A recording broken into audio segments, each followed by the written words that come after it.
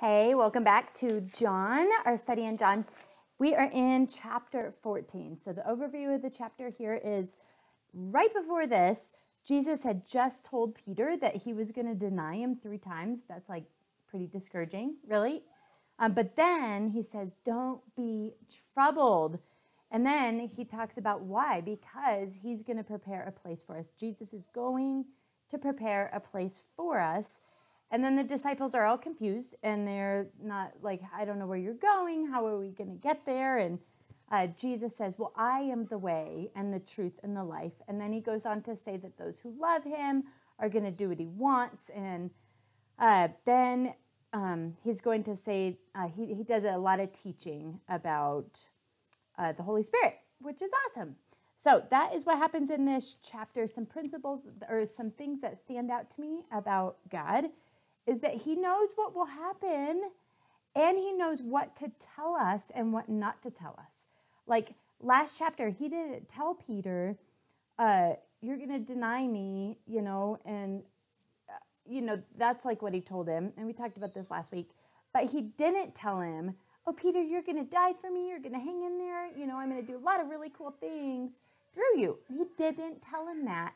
Yet he knew. He knows what's going to happen. And, Another thing is he gives hope and everything that we will need to live the life that he's called us to live.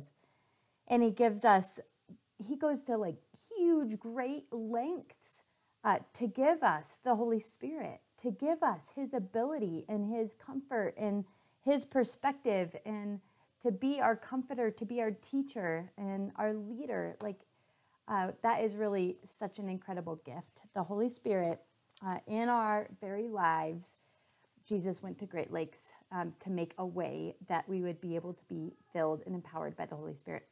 So, some principles are uh, we get the privilege of having the Holy Spirit, therefore, we get to do greater in terms of scope and sequence things than even Jesus got to do, which is crazy, amazing, really, uh, the influence. And the Holy Spirit is all we need, really, like his comfort, his ability, his perspective, his strength. Like the Holy Spirit living on inside of us is all we need to live the, guide, the life God wants us to live. Uh, another principle is to fix our eyes on what's to come. That's how he encourages Peter. Don't be discouraged. Like, I'm going to prepare a place for you. Like, he, he wanted Peter to have a bigger perspective just than not just this earth and not just this here and now, but really like the way long term, he's preparing a place for us. Perspective, heaven. And uh, the last one is that when we have Christ on the throne, he aligns our hearts to his. We start to desire and love and hate the things that he loves and hates and desires, and uh, we begin to think like him. Uh, so, uh, that, and then we'll begin to pray those things. The very, His very heart, when we have Christ on the throne, um, we'll end up praying that the very things that He wants us to pray.